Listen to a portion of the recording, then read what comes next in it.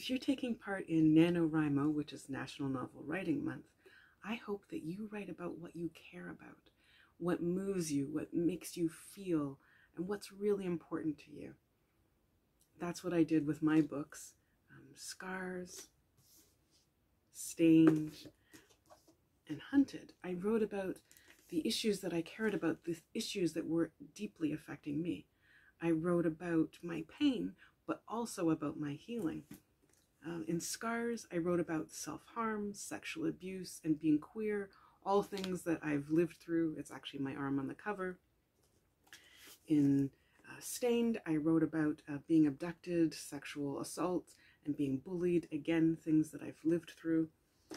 And in Hunted, I wrote about oppression that I'd been through, but I did it in a metaphorical way because this is fantasy.